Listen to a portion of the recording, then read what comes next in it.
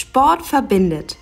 Beim 25. Frühlingsturnier des OSC Berlin treffen dieses Wochenende über 50 begeisterte Florett- und Degenfechter im Sportforum Hohenschönhausen aufeinander, um möglichst viele Punkte für die Rangliste zu sammeln. Besonders interessant ist das Teilnehmerfeld. Von 16 bis 62 Jahre, alle sind dabei und neben zahlreichen Berliner Fechtern sind auch einige internationale Teilnehmer am Start dass obwohl eben auf der Bahn im Wettkampf eben die Unterschiede da sind, die Gegensätze da sind, im Endeffekt das verbindende Element für alle zählt und wir alle sozusagen eine Gemeinschaft darstellen und gemeinsam miteinander Sport treiben. Trotzdem sind es die Berliner und insbesondere die Fechter vom SC Berlin, die den 20 Mann starken Florettwettbewerb dominieren.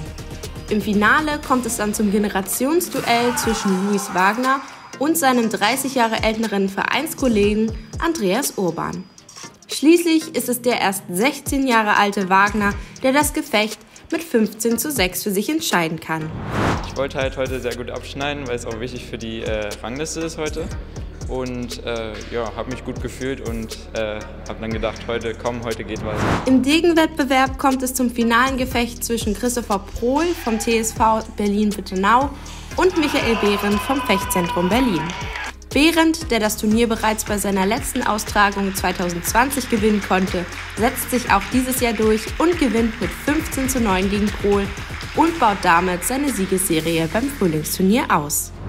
Ähm, ich bin schwer reingekommen, die Vorrunde war schwierig, äh, aber das erste Direktausstellungsgefecht gegen Sebastian Schattenfroh hat meine Kräfte mobilisiert und meine Energie und meine Power nach vorne gebracht, sodass ich zum Schluss dann noch reichen konnte.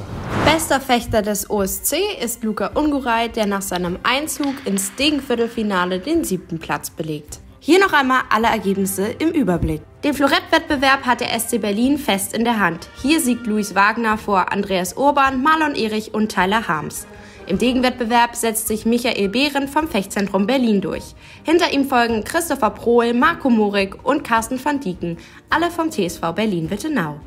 Auch wenn es für den OSC an diesem Wochenende nicht immer für Platz 1 auf dem Treppchen gereicht hat, ist das Frühlingsturnier ein voller Erfolg.